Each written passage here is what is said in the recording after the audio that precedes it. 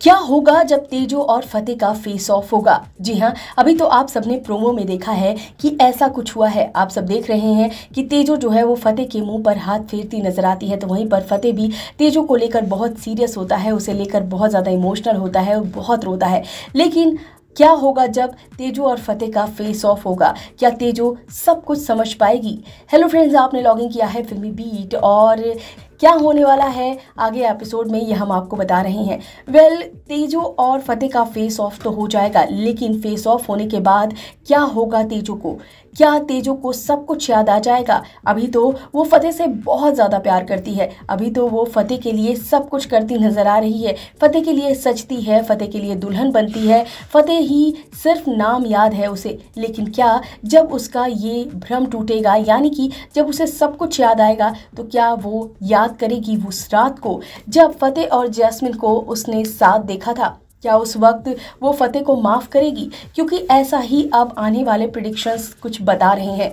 क्योंकि यहाँ पर ऐसा लग रहा है कि जैसे तेजो जो है, वो फतेह से तो मिल जाएगी, लेकिन तेजो को कुछ भी याद नहीं रहेगा और फतेह जब ये चीज़ देखेगा तो वो पूरी तरीके से टूट जाएगा क्योंकि उसे फतेह के अलावा और कुछ याद नहीं होगा। तेजो की हालत देखकर फतेह को बहुत बुरा लगेगा। तो यहाँ पर जो तेजो है, उसकी सिचुएशन कुछ ऐसी होने वाली है कि वो किसी को नहीं पहचानेगी और ये बात तानिया जब लेकर आएगी कि किस तरीके से उसने शरण आश्रम में उसे देखा और वो ऐसे रह रही थी, वो फतेह फतेह चिल्ला रही थी, बेचैन थी तो ये सारी चीज़ें जो है वो जब फतेह को पता चलेंगी तो फतेह को बहुत बुरा लगेगा, क्योंकि कहीं ना कहीं से ये सारी चीज़ें फतेह की वजह से ही हुई हैं। अगर फतेह ने तेजो पर विश्वास किया होता तो वो वापस अंगद के पास कभी नहीं जाती।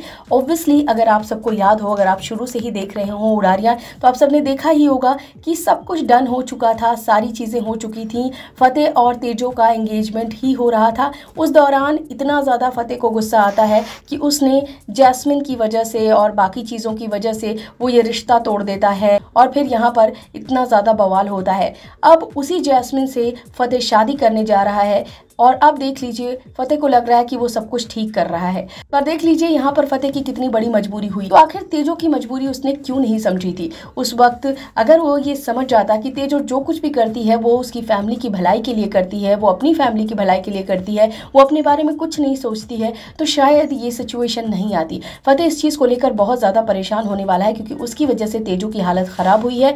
और अब देखने वाली बात होगी, जब तेजो को सब कुछ याद आएगा तो क्या होगा? सब कुछ अगर याद आएगा तो क्या वो फिर से फतेह से प्यार करेगी या फिर नफरत करेगी? क्योंकि अभी तो उसके दिमाग में वही है, उस रात का सीन है जब उसने फतेह और जैस्मिन को साथ देखा था। सच तो ये है कि जैस्मिन तो बिल्कुल वैसी ही है, यानी कि जैस्मिन पर भरोसा करना तो भारी पड़ गया है तेजो पर, लेकिन फतेह ने तो खैर उस रात कुछ नहीं किया था, फतेह की उसमें कोई गलती नहीं थी।